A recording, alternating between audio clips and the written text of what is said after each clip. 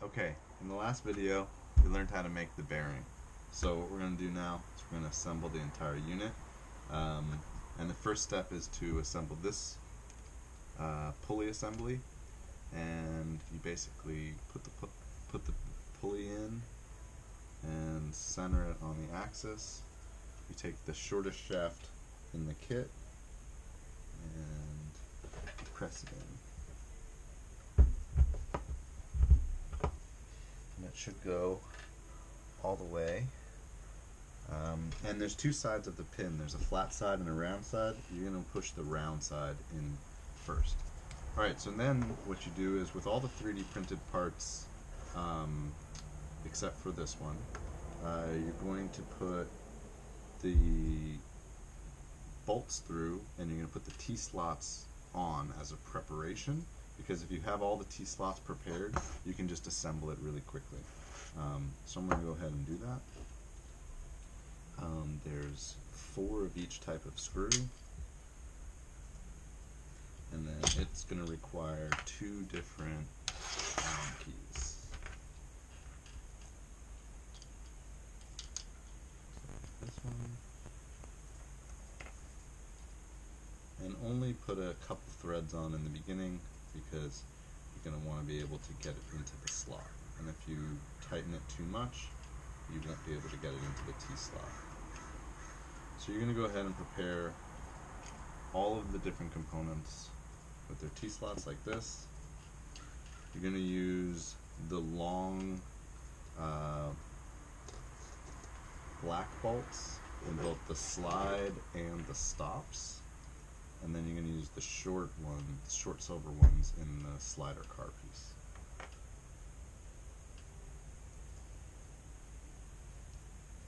So again, just a couple threads. And you want to be careful to not move the slider off because the bearings will come out. Um, and you can wear gloves if you don't want to get any of your hand oils on the slider because uh, you should wipe that off otherwise you'll get little rust spots. So again, put them the T-slots on. Two more parts.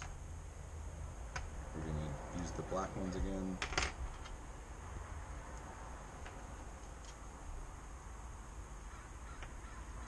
And it all assembles pretty quick uh, as long as you have the bearing made already. And I typically make the bearing the night before. Let the glue dry overnight.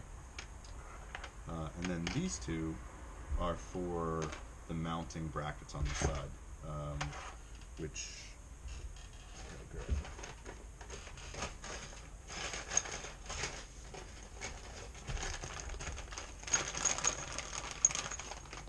we'll also prepare those.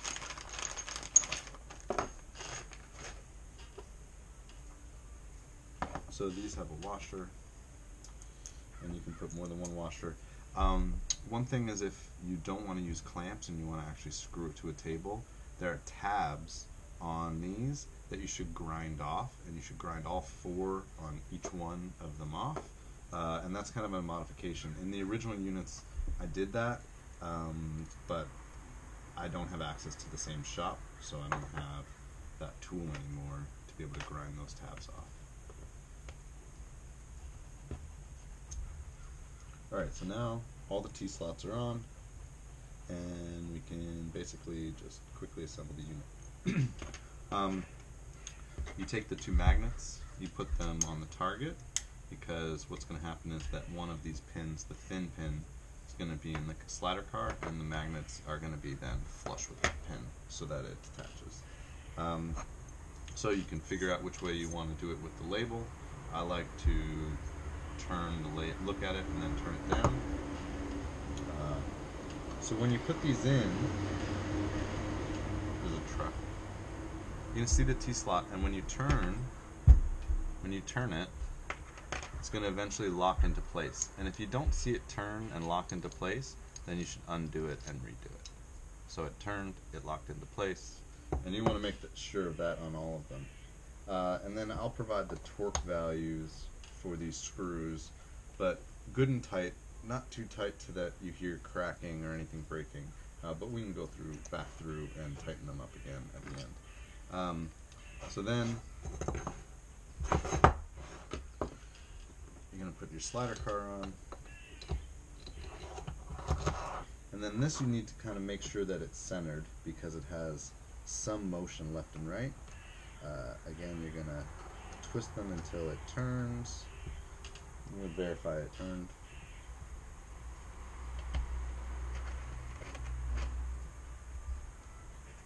There.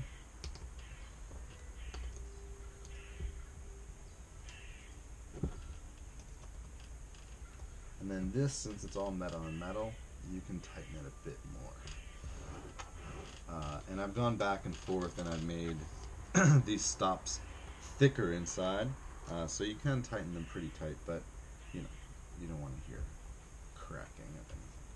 So that's pretty tight. Uh, and then the pulley car.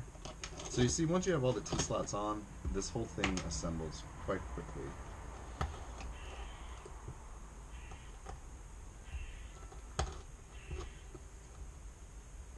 And that's a nice thing because if you're traveling, you can disassemble it. I mostly keep it assembled. I think that the largest thing is the um, the clamp mounts.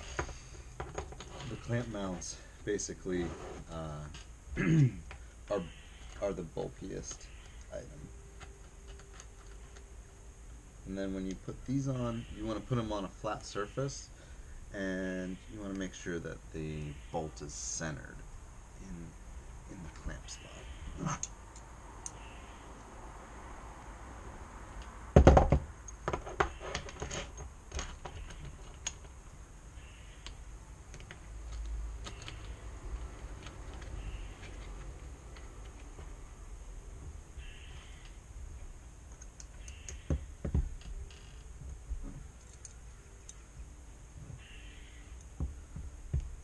Okay, so final piece. You're gonna take your car and you're gonna put all four of the silver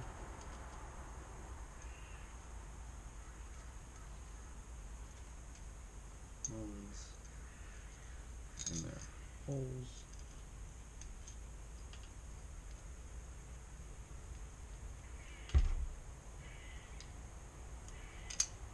And assemble it to the slider. And don't tighten them, just snug them up, and then you can go back and tighten them.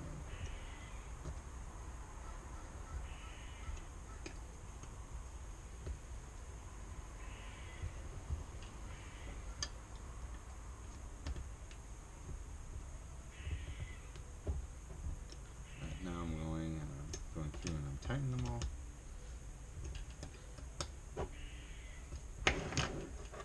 you have your small pin.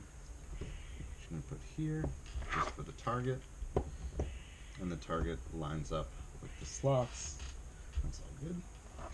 Then you're going to put your large pin and when you first put this in it's going to be kind of stiff but um, over time it's going to wear in uh, and then you have your line here. Um, you want to grab a lighter I don't have one uh, and clean up the ends. Um, but then you basically go through and you tie two different bowlines in either side and that's it. And the rig's done. And so then you can mount it to a table and trim your glider. Uh, and you have a small compact rig. It's tied